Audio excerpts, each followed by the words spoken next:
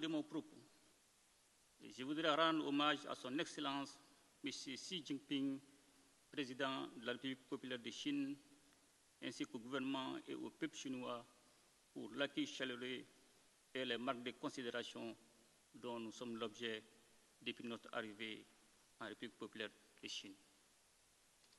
Je tiens également à exprimer toute la gratitude de la délégation malienne pour l'invitation aimable que nous ont adressée leur Excellence, les co-présidents du 9e Forum de coopération sino-africaine FOCAC. Et c'est un honneur pour nous de participer à cette rencontre d'envergure qui symbolise la force des relations entre l'Afrique et la République populaire de Chine. Des relations qui ne cessent de se renforcer dans un contexte international marqué par des défis multiformes. Le Mali réaffirme avec conviction son engagement à approfondir les liens de coopération avec la République populaire de Chine et ces relations entre nos deux nations reposent sur des principes immuables de respect mutuel, d'égalité, de bénéfices réciproques.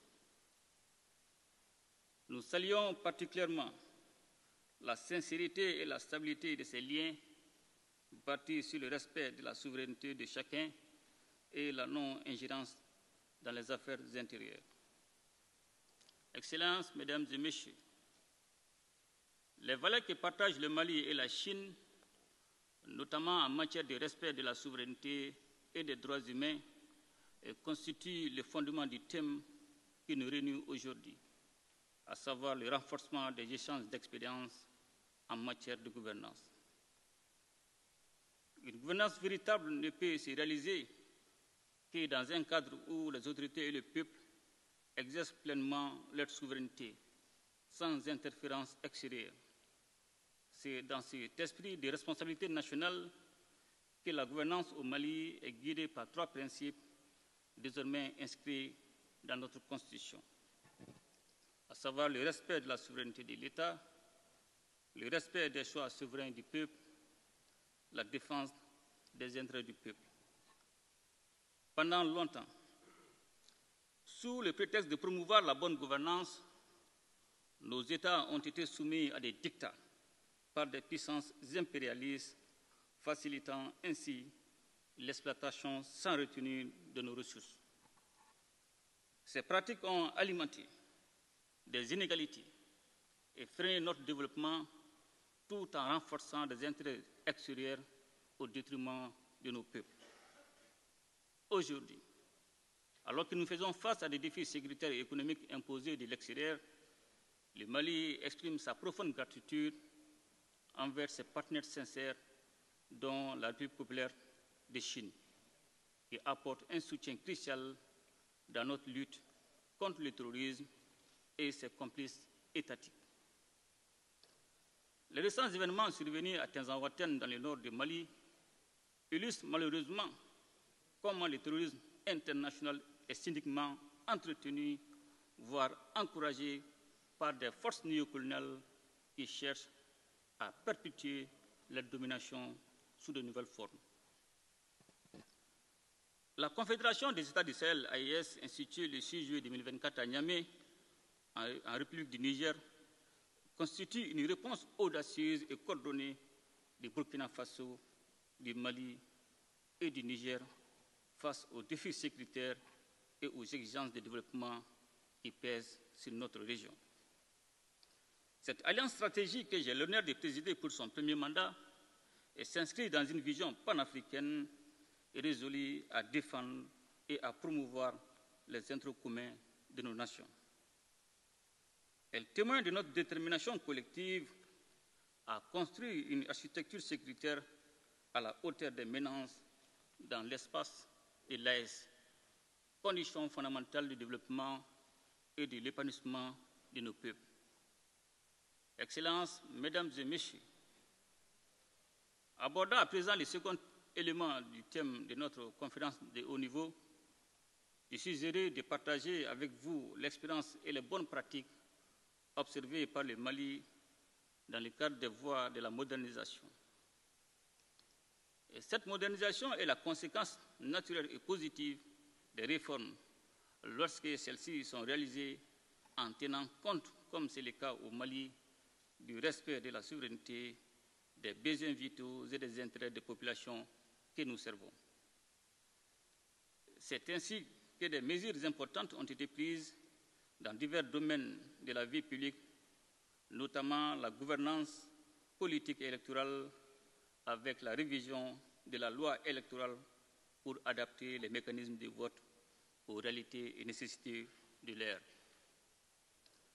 La réforme de la gouvernance vise également à améliorer la gouvernance économique qui est passée par la relecture des textes relatifs aux industries extractives en vue d'une meilleure gestion de nos ressources naturelles pour le développement de nos pays et le bien-être. Je dirais même le bien-être de nos populations.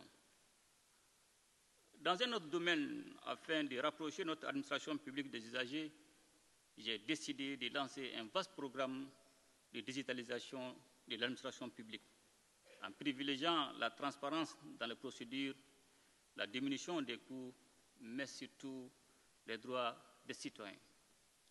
Excellences, Mesdames et Messieurs, le Mali est fermement convaincu que dans les fondements d'une gouvernance authentique repose sur une indépendance véritable, une souveraineté totale et une pleine appropriation nationale des leviers stratégiques de la vie de la nation. C'est avec, cette vision que les réformes courageuses et profondes ont été entreprises, répondant ainsi aux aspirations légitimes exprimées par le peuple lors des assises nationales de la refondation et du dialogue intermalien. L'adoption de notre nouvelle constitution lors du référendum historique du 18 juin 2023, largement soutenu par la population, symbolise l'engagement du Mali à bâtir un État moderne, résilient et à l'écoute de son peuple. Ces réformes décisives qui marquent notre volonté profonde de refonder l'État ont été réalisées grâce à la mobilisation, collective des Maliennes et des Maliens aux côtés des autorités de la transition. Cette dynamique dénote une approche inclusive et durable sur fond d'un large consensus national dans le processus de refondation.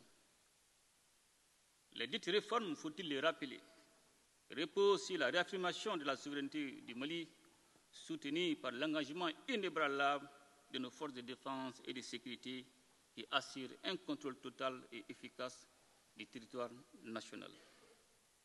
Cette sécurisation, essentielle pour la stabilité et le développement, permet de créer un environnement propice à la reconstruction et à l'épanouissement de notre nation.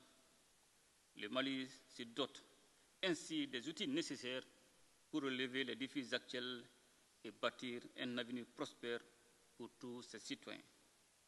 Excellences, Mesdames et Messieurs, je voudrais, pour conclure, renouveler la profonde gratitude du peuple et du gouvernement malien envers la République populaire de Chine pour son appui indéfectible, en particulier dans le domaine de la stabilité, de la paix, de la sécurité et du développement.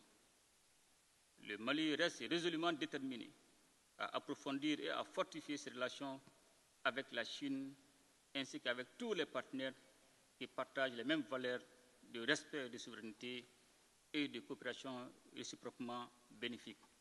Vive la coopération sino-africaine, vive l'amitié entre nos peuples